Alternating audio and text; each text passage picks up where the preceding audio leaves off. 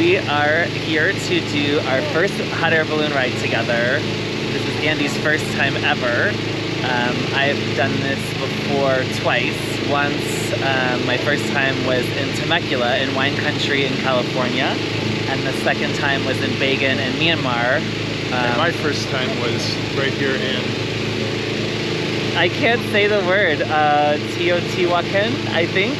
Hopefully, I'm not butchering that too badly. But uh, yeah, so we're just outside Mexico City, about 30 miles.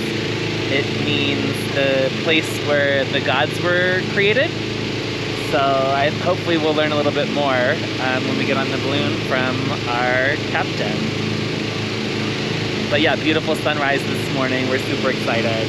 It's a little chilly, but should warm up. And it looks like it was supposed to rain like all week. So we found this spot where it's supposed to be cloudy, but it looks like we're getting a nice blue sky with some pink clouds. So that's really exciting. let's go. We're not ready to go just yet as the flight crew are still blowing up the balloons. We are starting to see balloons taking flight from some of the other balloon companies, but we must admit Volare has been amazing and highly recommended by our friends. When we saw a break in the weather last night, we WhatsApped them to book while we were actually still at dinner. And they picked us up on time from our Airbnb this morning at 5:15 a.m. We then picked up a few other folks before making our way to the Teotihuacan Valley, arriving here by 6:30 a.m. We had coffee and cookies during the simple check-in procedure and now are watching the sunrise and all the balloon action in the valley as we wait for our balloon pilot to call us down for our flight. And yes, these were the transportation vans from Mexico City. You can also choose to return directly after breakfast in your flight or head over to the nearby archaeological site. All right, here we go. It's finally our turn to head over to our balloon for takeoff. We're following our balloon pilot who is appropriately wearing a boss hat. The balloon pilots are easily identifiable as they are carrying the post flight bubbles in their blue totes for you to toast after landing, as is tradition. It looks like our balloon is this purple and green one. Our pilot tops up the balloon with hot air and flips the basket up for boarding, and we're ready for takeoff. As we take off, we have a beautiful sunrise view, and the valley is now filled with colorful balloons.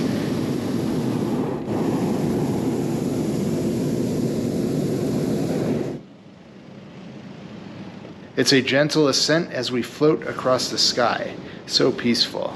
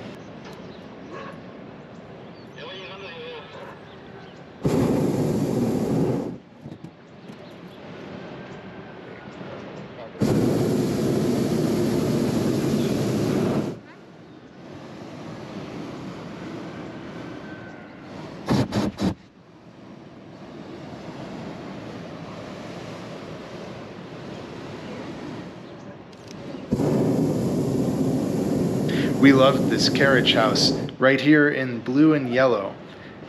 Don't love that antenna as much as we get so close, but we did enjoy flying so close to the pyramids, which was incredible. Such an exhilarating experience, you could almost touch them.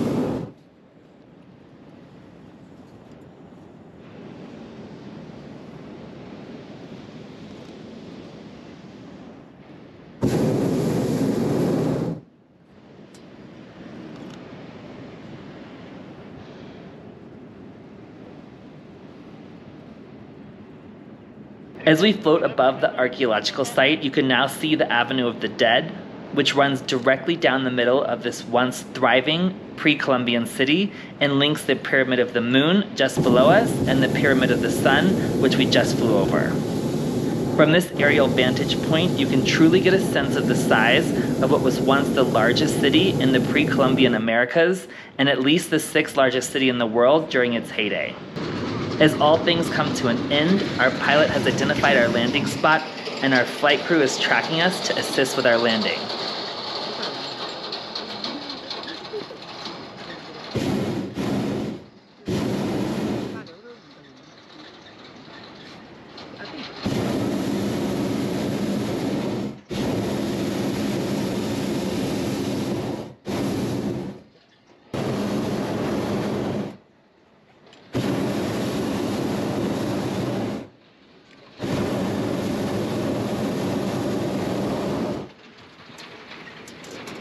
We landed in this beautiful field with yellow flowers and enjoyed the traditional post-flight bubbles. Oh, Cheers.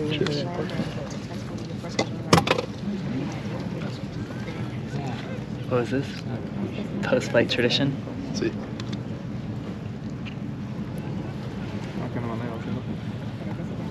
After our flight, we returned to this beautiful garden at base and we were offered a delicious breakfast with scrambled eggs, refried beans and cheese, red and green chilaquiles, and fresh fruit.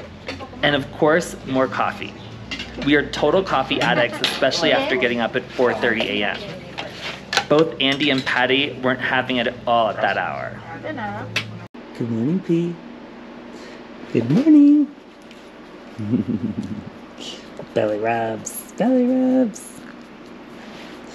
This little nugget is not ready to wake up. It is 4:30 a.m. Good morning. Good Morning. I thought you were talking about me back there. What do you mean?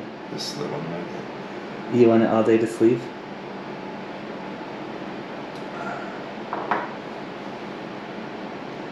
Are you excited for your first balloon ride?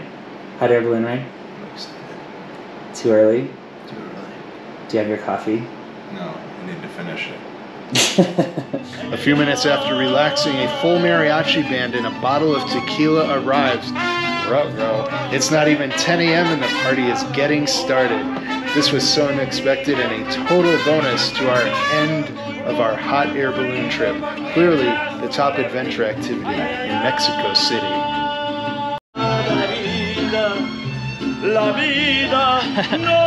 I love it. He was like, the tequila's free. Take as many as you want. Have the bottle. And then he was uh, letting everyone take pictures with his hat. Super fun. This is so unexpected.